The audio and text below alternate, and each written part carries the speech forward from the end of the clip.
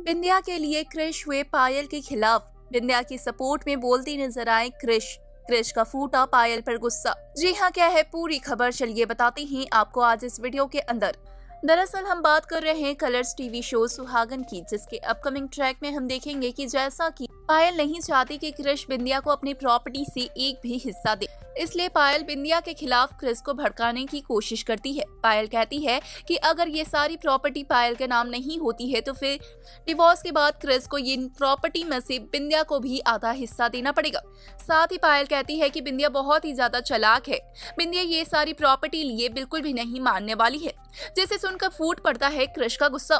क्रिश पायल पर भड़कते हुए आते ही नज़र। क्रिश कहते हैं कि बिंदिया को ये प्रॉपर्टी नहीं चाहिए और ना ही कोई रुपए पैसे चाहिए। बिंदिया के मन में किसी भी तरीके का कोई भी लालच या छल कपट नहीं है। बिंदिया को अगर कुछ चाहिए तो वो सिर्फ़ और सिर्फ़ हम है। बिंदिया को सिर्फ़ और सिर्फ़ कृष चाहिए, उसका सुहाग चाहिए और बिंदिया की नज़र किसी भी प्रॉपर्टी पे नहीं है।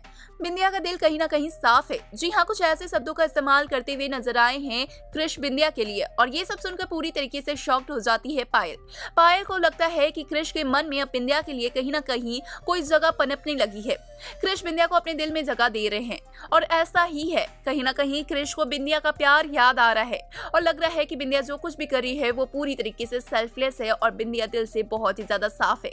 अब देखना होगा काफ़ी दिलचस्प कि ये सब सुनने के बाद पायल चलेगी कौन सी नई चाल। वेल, क्या लगता है आपको? हमें कमेंट्स के ज़रिए ज़रूर बताएँ। साथ ही चैनल को सब्सक्राइब करें।